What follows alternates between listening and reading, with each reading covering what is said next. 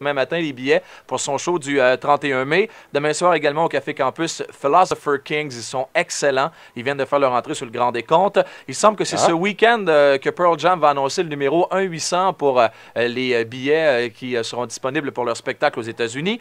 La campagne pour Batman, ça commence en fin de semaine. Ça prend l'affiche le 16 juin, Le Batman 16 Forever. juin, puis déjà, on parle de Batman. On En va, fin on de va semaine, nous inonder de ça Val commence. Kilmer, puis de l'autre, le Jim petit gars qui fait Carrey. le Robin aussi. Exactement. Robin. hein. Ben oui, alors imaginez-vous, ça commence en fin de semaine. Et Le Roi Lion, l'album est numéro 1, la vidéocassette est numéro 1. Que demander de plus pour Walt Disney? Et en terminant, la meilleure, c'est Sting qui l'a cette semaine. Il vit actuellement au Japon, il fait une pub pour une euh, campagne pour un complexe hôtelier. Puis tu sais que Sting milite pour la sauvegarde des forêts tropicales. Mais Oui, depuis longtemps, en. Amazonie, il, fait- il y a son grand chum là, qui est le roi là, du, C'est du ça, la pamplemousse là-bas. là. ouais. Et euh, Sting a l'air fou parce que où on a construit le complexe hôtelier, c'est une forêt vieille de 200 ans et il y avait 100 000 arbres qui ont été abattus. puis il est au courant de ça, puis il dit c'est pas grave, je suis un militant, mais faut pas virer fou avec ça. Non. Et comme je le dirais si bien dans, le- dans le sans doute ce week-end dans Midi Plus Week-end, je dirais sans doute l'argent n'a pas d'odeur. Bon, mais écoute, mon petit euh, Kid Buffalo, euh, bonne fin de semaine. On va t'écouter en fin de semaine. Et puis, est-ce qu'on peut toujours gagner ce week-end ton, euh, ton album compilation? Ben oui, puis dimanche, il y a Toujours. 36 disques compacts à gagner en que j'écoute toujours dans ma voiture et je suis très heureux. Ah, je te que remercie je t'aime! du cadeau. Je te remercie, Mike. OK, bonne fin de semaine.